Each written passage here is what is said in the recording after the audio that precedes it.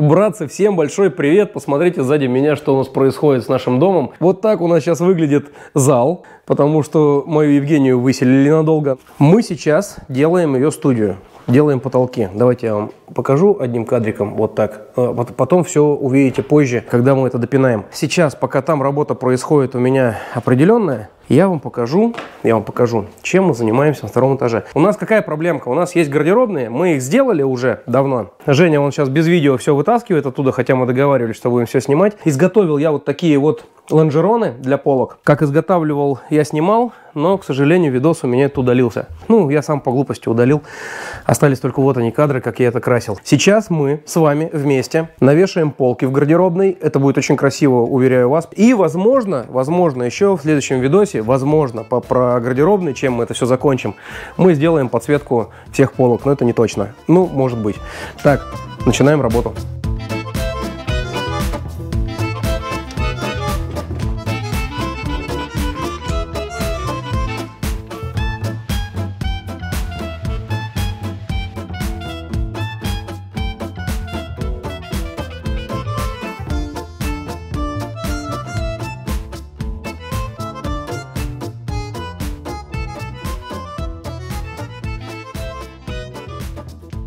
Вы как хотите, но я хочу рассказывать вам обо всем, что происходит со мной сегодня. 43 сантиметра – это высота чемодана, который я буду хранить э, в своем, в своем мужском гардеробчике. Вот, 43. Так, отстреливаю лазером сейчас. Вот на вот этом удобном своем тоже чемодане. Потом покажу вам что-то такое, если интересно будет. Так, где лазерник? 43 сантиметра. Один лазер у меня будет для вертикалки, второй лазер у меня будет для горизонталки. Так удобней. Вот так. Так, что-то надо на 4 сантиметра поднять.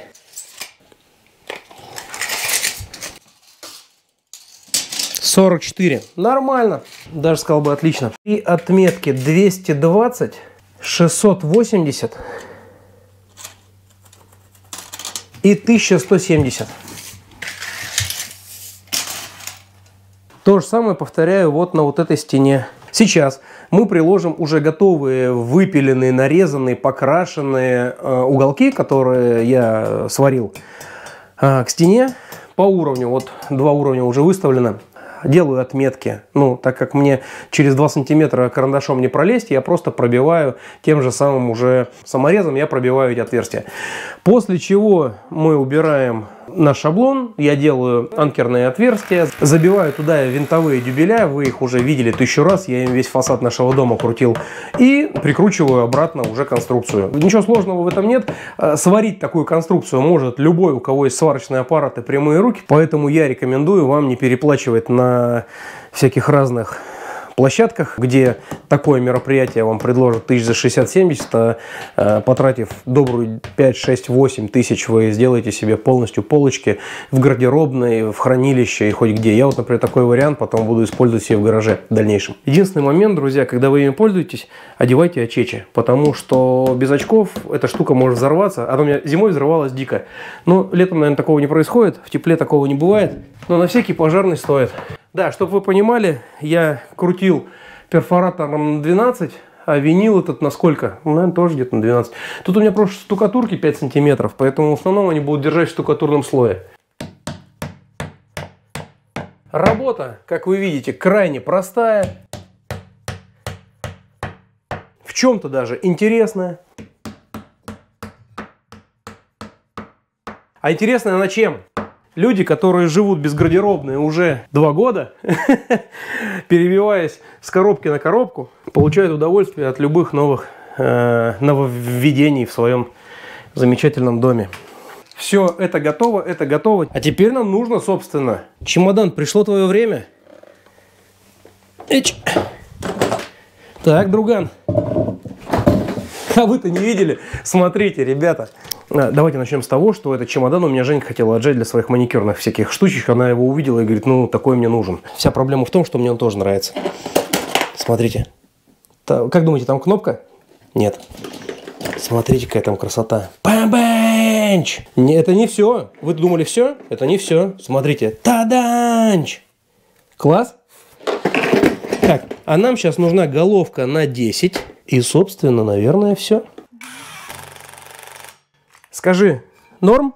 Норм. Могу тянуть? Ну да.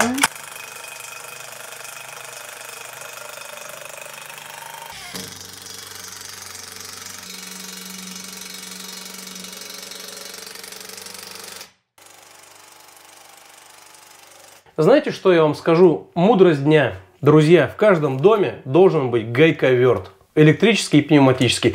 Но электрический точно.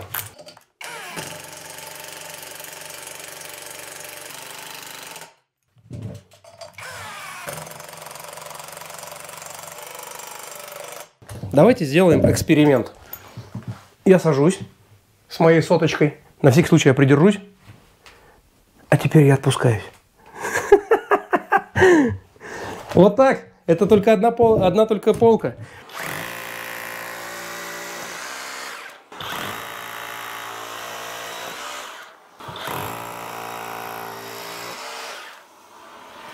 Все, забиваю по ВХшке.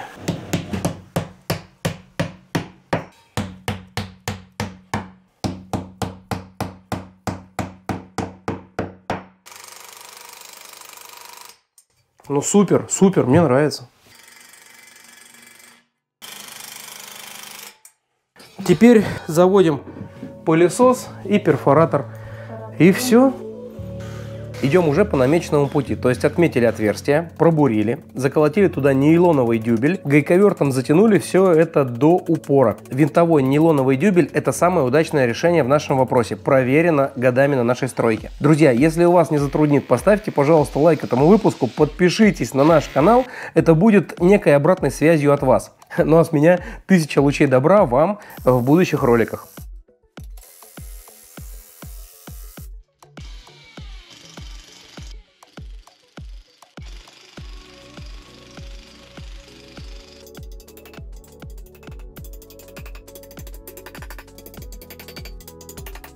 Итак, едем дальше. Мастерю полки. Тут все так же просто. Заказал раскрой, купили кромку ПВХ метражом, клею с помощью утюга. Вспоминаю юные годы, когда собирал мебель э, для частных заказчиков. В этот раз мне очень пригодились крепления, которые я мастерил для удержания двери при монтаже в нее петель и замков. Э, есть видос э, соответствующий на канале в плейлисте про двери, по-моему. Сын очень выручает меня в работе. Будущий мастер. Приятно, что это ему нравится.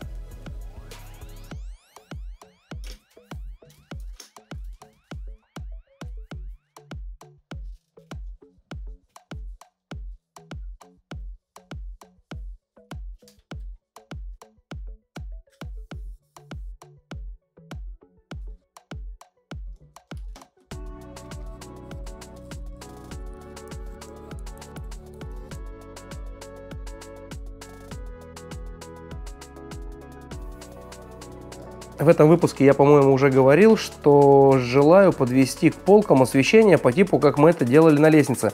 Но пока я думаю, как это лучше реализовать. Вообще было бы здорово сделать снизу фрезером паз и вложить туда ленту. А, в общем, еще подумаем. Будет здорово, если вы тоже напишите свои мысли на этот счет.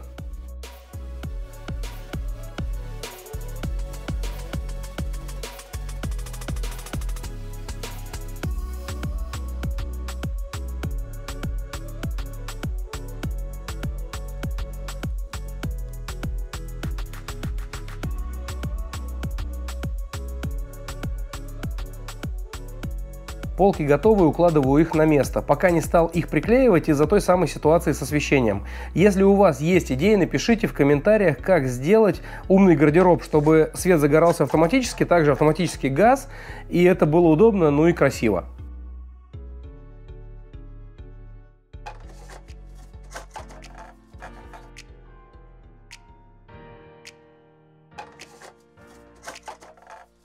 Восемьдесят четыре. Понял? Блин, а здесь нечего.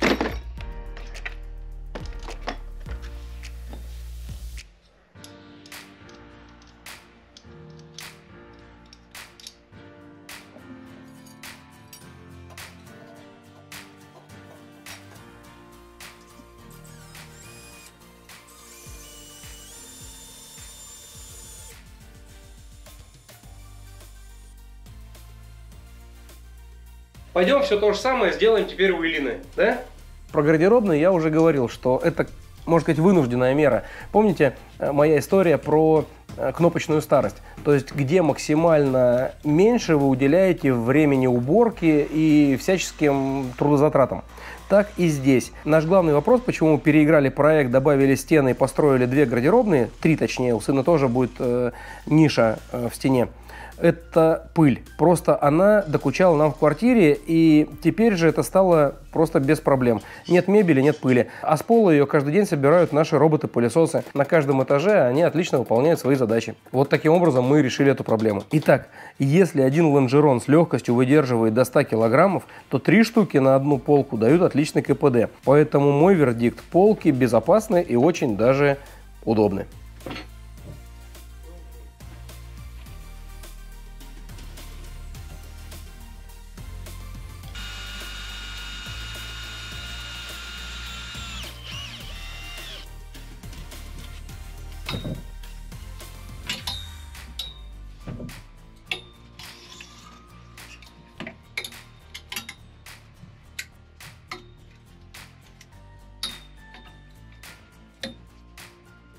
Мы имеем шкаф, полностью готовый под э, житье, вот, со всеми моими ништячками в виде инструмента. Сейчас занесем все вещи сюда.